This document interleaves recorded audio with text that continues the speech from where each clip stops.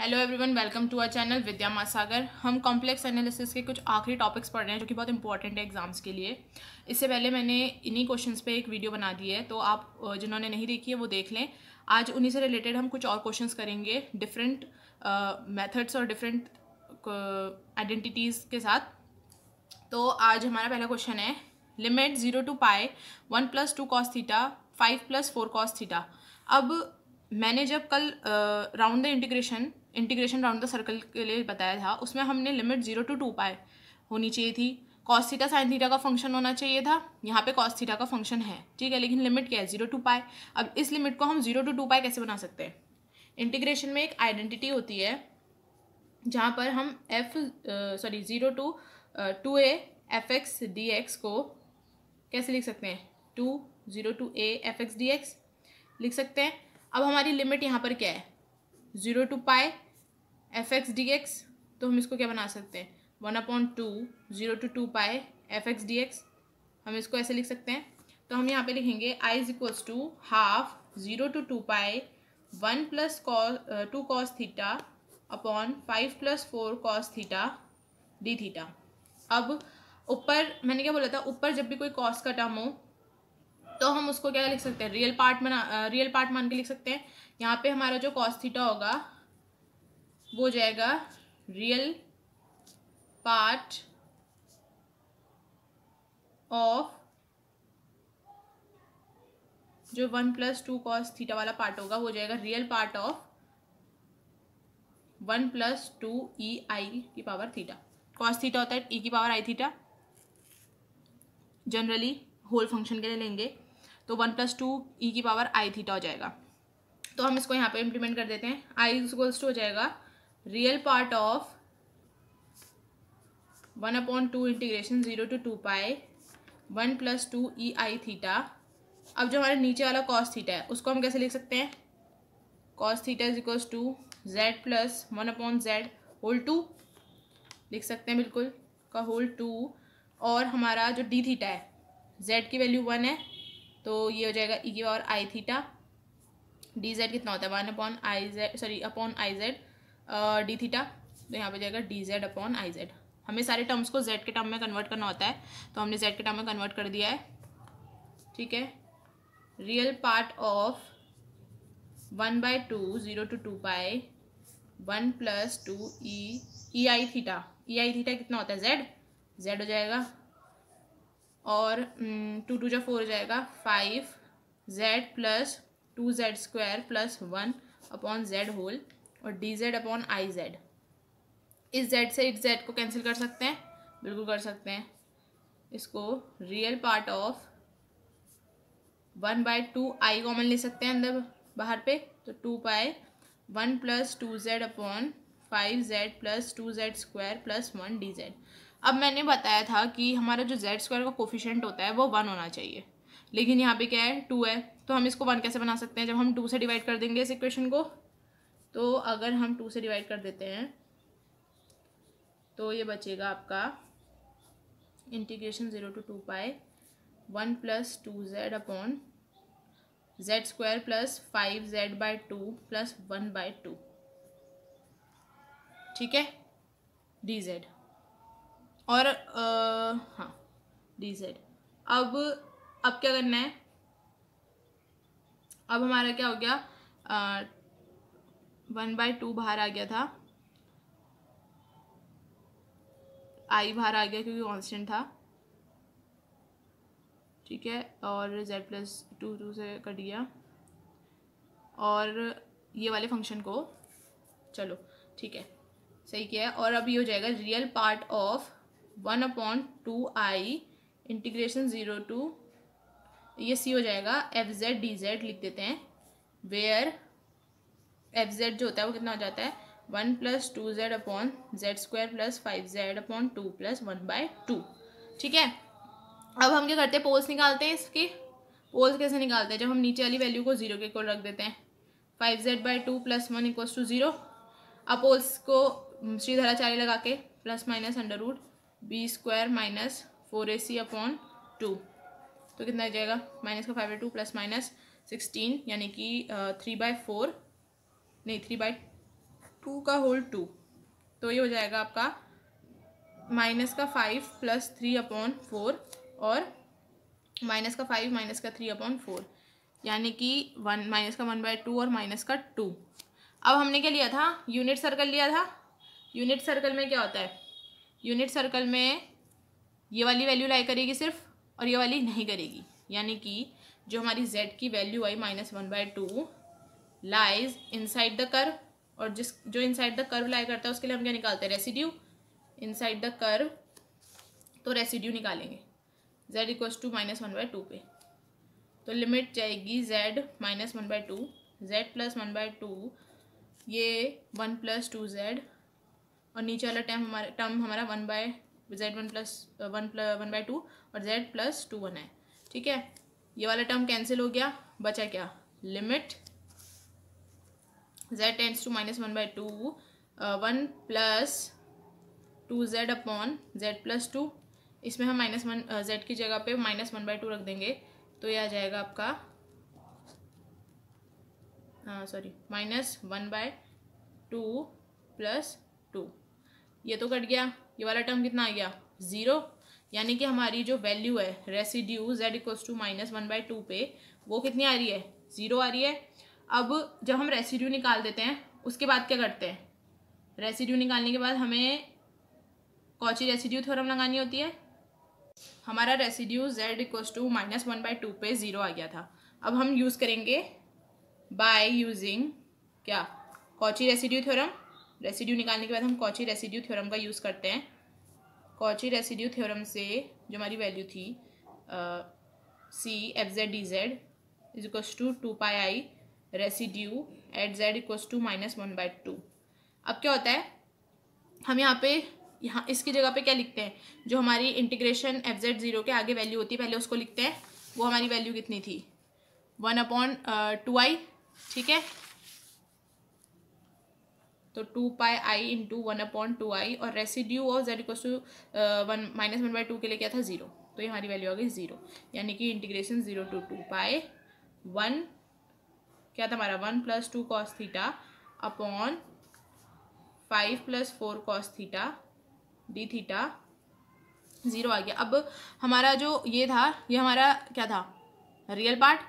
और यहाँ पे भी क्या है रियल पार्ट तो हमें इसे कंपेयर करने की ज़रूरत नहीं है. पर जब हमारा रियल पार्ट और इमेजनरी पार्ट दोनों आता है तो हम क्या करते हैं रियल पार्ट और कंपेयर रियल पार्ट को जो अगर रियल दिया हुआ है, अगर कॉस थीटा है तो रियल पार्ट अगर साइन थीटा है तो इमेजनरी पार्ट कॉस थीटा दिया है तो रियल पार्ट है यहाँ पर तो हम रियल पार्ट को क्या करते हैं कंपेयर करते हैं और इधर साइड जो रियल पार्ट आया था, वो इसके इक्वल हो जाता है और इमेजनरी पार्ट इमेजनरी वाले के. ठीक है? इट डिपेंड्स कि तुम्हारा क्वेश्चन में कॉस थीटा पूछा है या फिर साइन थीटा ठीक है? अब हम एक और क्वेश्चन करते हैं, इसी से रिलेटेड हमारा क्वेश्चन क्या है? ये वाला क्वेश्चन इसमें थोड़ा सा डिफरेंट है फॉर्मुलेज लगेंगे इसमें टेक्नोमेट्री के कुछ। इसमें लिमिट दी गई है zero to two pi cos square three theta upon one minus two P cos two theta plus P square D theta is goes to pi one minus P plus P square upon one minus P आ रहा है इसका answer और limit P की जो है zero to one मतलब इसकी ज़ीरो टू वन के बीच में लाई करेगी वैल्यूज़ ठीक है, अब हमें पता है कि टू कॉस स्क्वायर थीटा जो होता है वन प्लस कॉस थीटा होता है। One plus cos two theta जो होता है, वो one minus two cos square theta होता है। तो यहाँ पे हमें क्या करना है? कॉस स्क्वायर के टर्म निकालना है। तो कॉस स्क्वायर थीटा क्या हो जाएगा? One plus cos two theta upon two. अब हमारा यहाँ पे थ्री थीटा है तो यहाँ पे थ्री भी आ जाएगा इंटू थ्री भी आ जाएगा। तो ये कितना बन जाएगा? कॉस स्क्वायर थ्री थीटा कितना बन जाएगा? One plus cos six theta upon two. यही वैल्यू यही जो फॉर्मूला है, हम यहाँ पे पुट कर देंगे। अब I equals to zero to two pi हो जाएगा। One plus cos six theta upon two one minus two P cos two theta plus P square ठीक है? हमने इसको सिंपल कॉस थीटा में लाने के लिए फॉर्मूले को स्प्लिट करा क्योंकि इसमें स्क्वायर के टर्म्स में दिया हुआ था। ठीक है? डी थीटा अब हमें पता है कि हम इसको कैसे लिख सकते हैं? रियल पार्ट ऑफ़ इसको कैसे लिख सकते हैं? इस वाले टर्म को, ऊपर वाले टर्म को। इसको हम लिख सकते हैं ऐसे real part of one plus E की पावर आई सिक्स थीटा बिल्कुल लिख सकते हैं ऐसे। इसको हम यूँ लिख सकते हैं और नीचे वाले टर्म को ऐसे ही लिख सकते हैं। और और क्या बोलते हैं? Z जो है यूनिट सर्कल है तो z इक्वस टू ई की पावर आई थीटा हो जाएगा। डी जेड जो हो जाएगा अपॉन में I Z equals to D theta यानी कि डी थीटा की D Z upon I Z आ रही है वैल्यू अब हम सारी वैल्यूज़ को यहाँ पुट कर देते हैं तो ये हो जाएगा real part of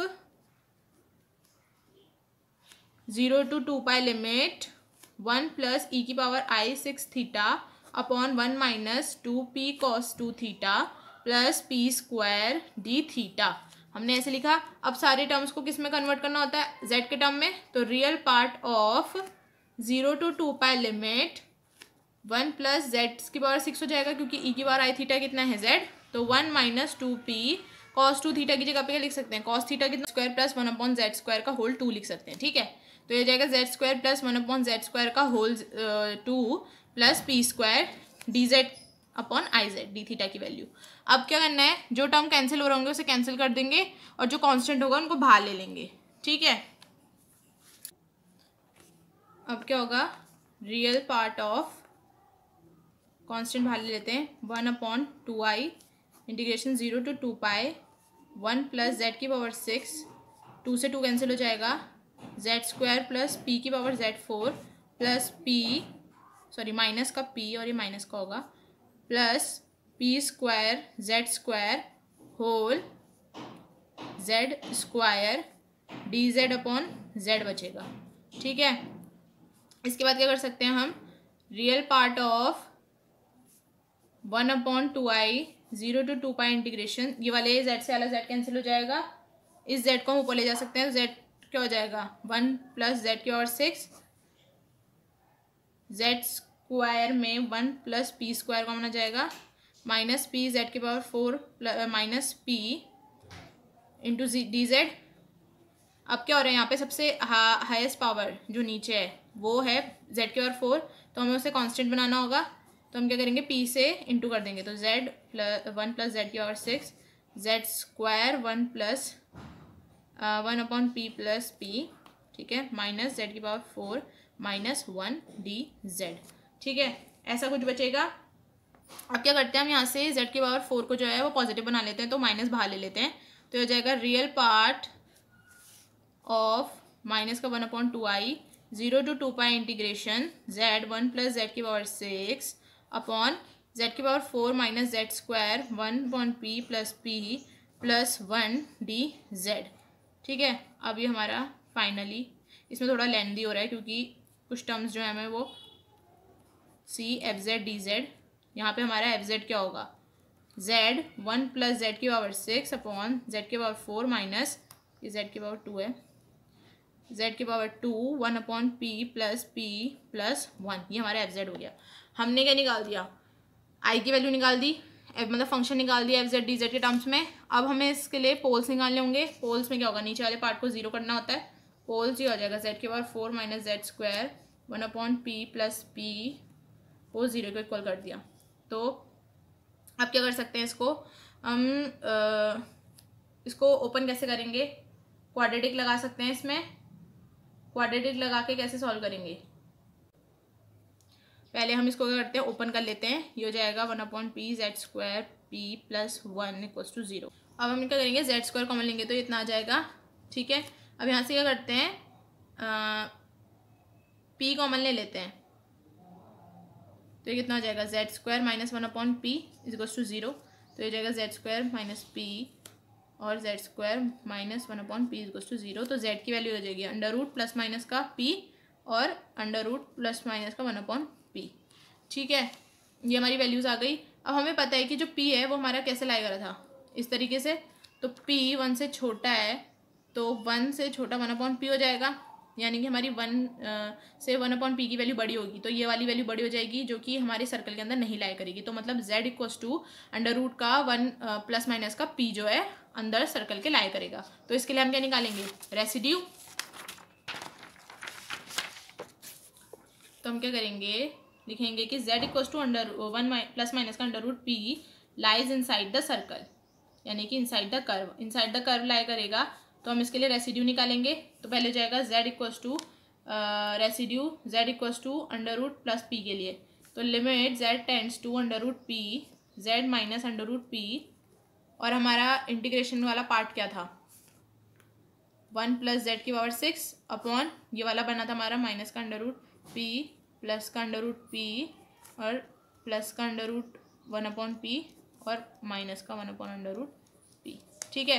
ये वाली कैंसिल हो जाएगी value limit z tends to under root p one plus z की power six upon z plus under root p z plus one upon under root p z minus का under root one upon p इसमें हम values put कर देंगे under root P की.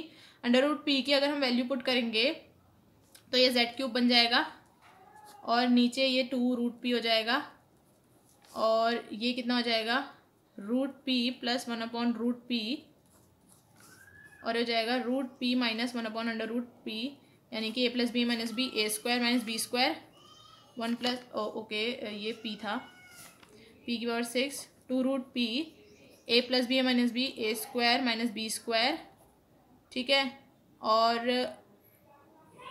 ये हो जाएगा one plus p square p ऊपर चले जाएगा two under root p p square minus one हो जाएगा।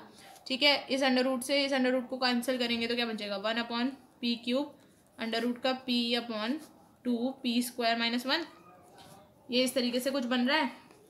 अब क्या है? इस वैल्यू को ऐसे ही रहने देते हैं। और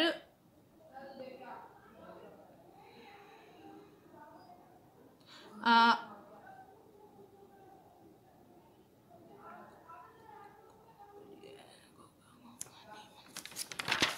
हमारी जो वैल्यू थी, उसमें जेड भी इंटू में आ रहा था।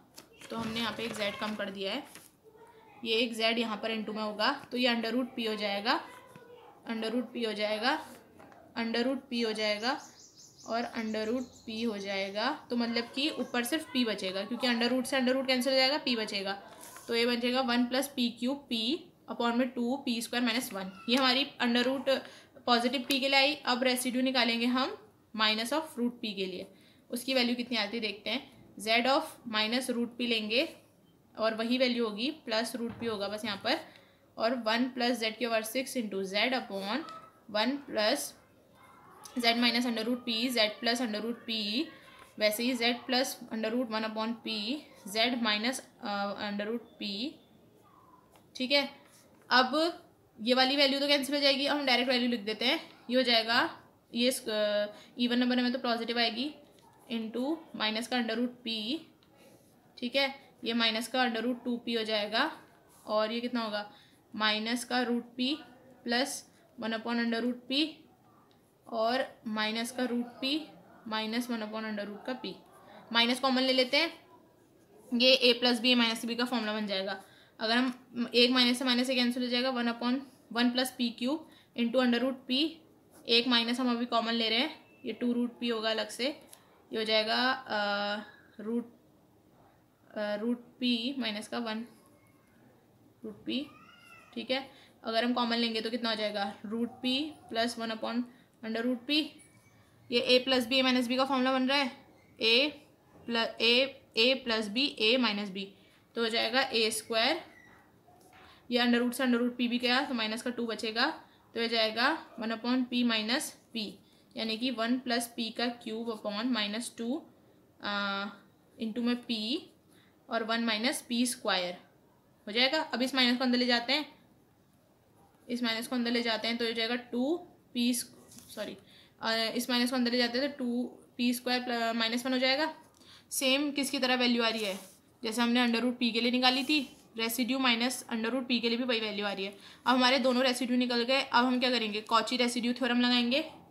By using Cauchy residue theorem.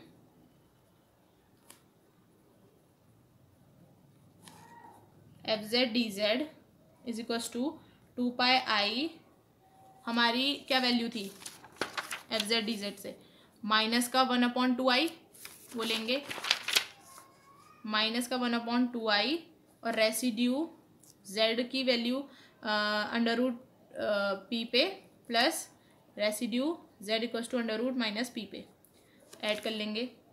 तो two pi i into minus का वन अपॉन टू आई, ये दोनों को प्लस करेंगे तो ट्वाइस ऑफ़ हो जाएगा। ट्वाइस ऑफ़ क्या हो जाएगा? One plus p cube, p upon twice p square minus one. इस टू से इस टू को कैंसिल करते इस टू से इस टू को आई से आई कैंसिल तो minus of p one plus p cube p upon p square minus one ठीक है? ये ये ऐसी वैल्यू आ रही है। अब हम इसको कैसे स्प्लिट कर सकते हैं? अगर हम p कॉमन ले लें अब हम क्या कर सकते हैं? वन प्लस पी क्यूब का जो फॉर्मूला है, उसको हम कैसे खोल सकते हैं? इसका फॉर्मूला होता है one plus p p square p sorry a plus b का, a cube plus b cube का फॉर्मूला होता है, a plus b, a square plus b square minus a b, ठीक है? माइनस का पाए ऐसी रहेगा, इसको हम खोल देते हैं a cube plus b cube में, ये हो जाएगा आपका p square plus one minus p into p और ये हो जाएगा ए स्क्वायर माइनस बी यानी a plus b minus b का फॉर्मूला ये। ठीक है? अब ये इस पा इससे ये कैंसिल हो जाएगा। बचेगा क्या? पाए पाए माइनस का माइनस का p plus one plus p square p upon one minus p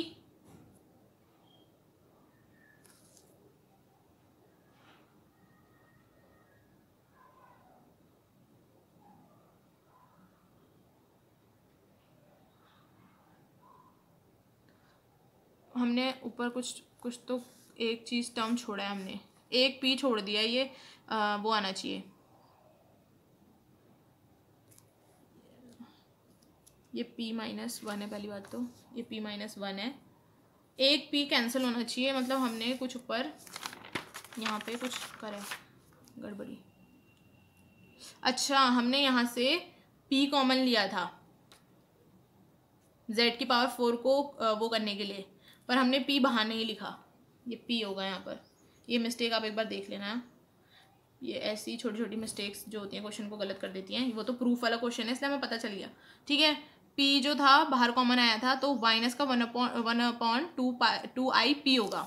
यहाँ पर हमने जो रेसिड्यू जब निकाला था तो ये टू पी आई होगा। ठीक है? ये पी से अपॉन पी अपॉन पी इस पी से इस पी को कैंसिल कर देते हैं। ठीक है? और ये माइनस वाला टर्म अंदर ले जाते हैं तो वन माइनस पी बन जाएगा, क्योंकि हमें प्रूफ क्या करना था?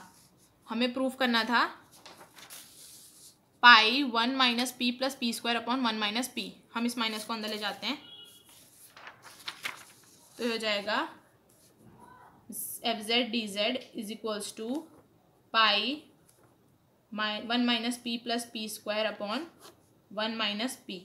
और हमारा ये क्या था? Two, zero to two pi cos square three theta upon one minus two p cos two theta plus p square d theta equals to pi one minus p plus p square upon one minus p hence proved ये question ज़रा सा लेंदी था। इस question में क्योंकि दो residue निकालने थे हमें प्लस के लिए भी माइनस के लिए भी। और थोड़ा सा यहाँ पर भी रियल पार्ट वाले में जो हमने एफ़ जेड डी जेड की वैल्यू निकाली, इसमें थोड़ा सा लेंदी हो गया था। बाकी क्वेश्चन एक जैसे ही है। और इसका ध्यान रखना है कि जब हम कॉमन ले रहे हैं तो हमें बाहर भी रखनी वैल्यू हम यहाँ पे भूल गए थे। हमने पी की वैल्यू कॉमन तो ली, पर बाहर पी लिखना भूल गए थे। ठीक है? इन चीज़ों का ध्यान रखना। और ये बहुत इंपॉर्टेंट क्वेश्चन है। ऐसे क्वेश्चन ज़रूर बनेंगे एग्ज़ाम में। सेम वैल्यू तो नहीं कह सकते, पर टाइप ऐसी ही होगा। तो और भी क्वेश्चंस हैं। हम नेक्स्ट वीडियोस में और भी इंपॉर्टेंट क्वेश्चंस जो बहुत ज़्यादा एग्ज़ाम में बन सकते हैं, वैसे क्वेश्चंस बताएँगे। तो देखते रहें वीडियो को शेयर भी करें लाइक सब्सक्राइब सब कुछ करें। Till then take care goodbye see you